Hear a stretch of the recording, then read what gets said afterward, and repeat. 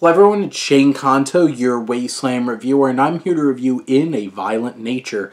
And this is a new horror slasher film that is very unique in the way that writer-director Chris Nash brings it to life, because so much of this film is from the perspective of like a Jason Voorhees type vengeful spirit, uh, played by Ry Barrett.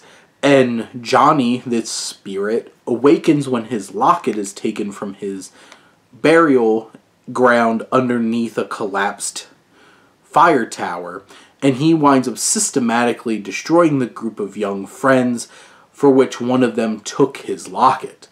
And this film is a lot of the time shot from directly behind this figure, and cinematographer Pierce Derks really captures such an engaging and interesting visual perspective. And also, this film looks great it has a that smaller tight squared aspect ratio.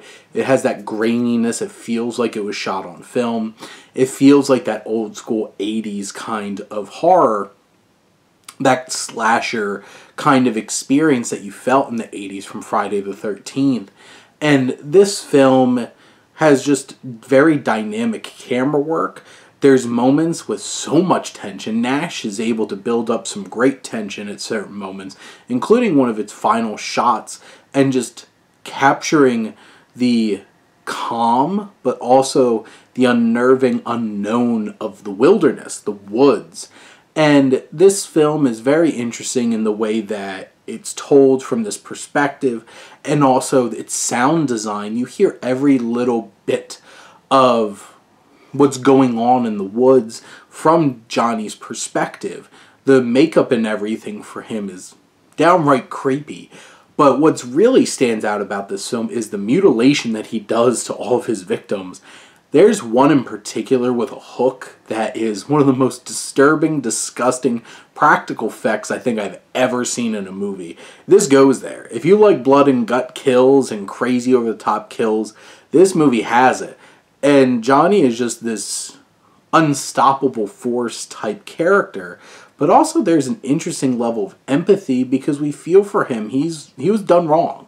And he's going through his journey and we're there with him systematically like chopping up these young people, but you have Andrea Pavlovic who plays Kris who has a little bit more meat to her experience in this film than the others even up to its like final 10 minute stretch which is kind of unexpected in the way that it goes really adds some layers of themes and ideas maybe not the most impactful at that point in the film where it feels like it really should have been wrapping up for itself but it still has some interesting things to say about just the wilderness and the dangers and revenge and there's just such a creepy, unnerving experience.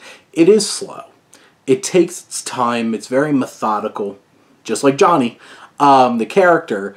It might put some people off, but this is such an interesting exercise in filmmaking that I was definitely enticed to check it out, and I'm glad that I did. It is creepy, it's unnerving, it's one of the most interesting and unique horror films you're going to see in a while, and definitely one of the better ones of this year so far. But those are my thoughts on In a Violent Nature. Let me know what you think and let's talk some movies. But thank you as always for tuning in and supporting your Wasteland Reviewer.